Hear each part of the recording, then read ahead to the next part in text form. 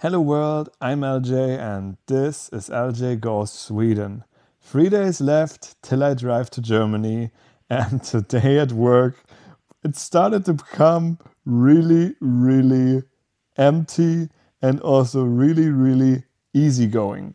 What do I mean with that? Well, most of the tasks that I have are finished, and the last task that I have, I can just take my time of them, and everything else that I could do is kind of blocked because either customers are already on vacation, so I'm waiting for answers from them, or people in our own company are also on vacation, so things are also not getting passed through.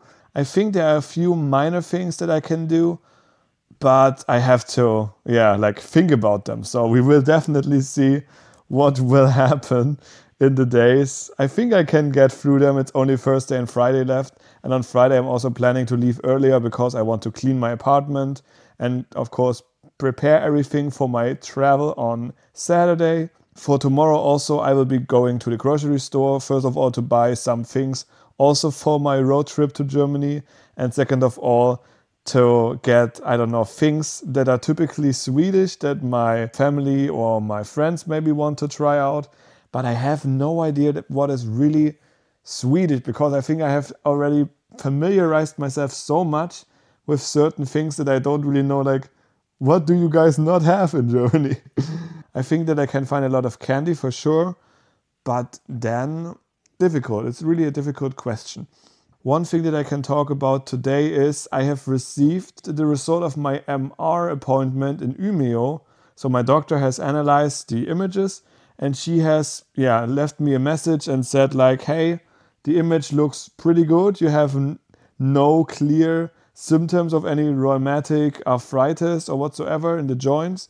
You have like a small um, gap or something like this in the left shoulder which could be like a problem but it's not something that she said like oh it's really really dangerous or bad and that is again like this point i already said the same thing when i got the results from the x-ray. If my doctor is saying she cannot see anything what does this mean? Does it mean that i don't have any rheumatic disease or arthritis or whatever?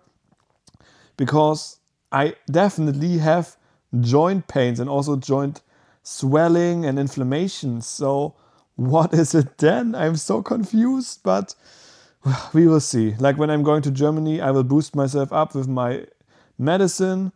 And then, yeah, if I'm still feeling like right now on this roller coaster, sometimes better, sometimes worse, I think I have to really, yeah, do something about it to figure out what is the case. Why is stuff not working? I will also switch to this MTX injection thing.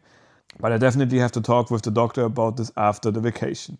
Besides that, I cannot tell you anything crazy that has happened. I have already finished my online conference with my friends today. We were finished kind of early because some of them wanted to watch the football game, which is like the semi-final between England and the Netherlands. And one of my friends is currently studying in the Netherlands. I understand that he wants to see it and have some yeah good time with people there. But I'm not watching the football thing. Maybe I will be watching the final. I could be still on the road to Germany on that Sunday evening. The game starts at 9 p.m. Maybe I will, however, already be done. I don't know yet. That's also the, one of the things I have checked through.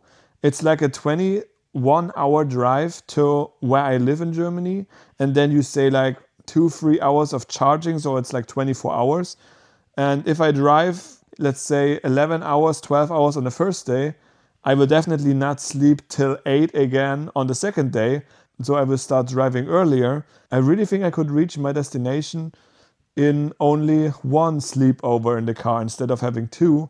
And I also don't really know if I want to artificially extend my stay to the south because if I only have like three hours left to drive to Germany, I will just drive them instead of saying like, okay, now I will sleep a whole night somewhere and then drive three hours the next day. It doesn't really make too much sense for me.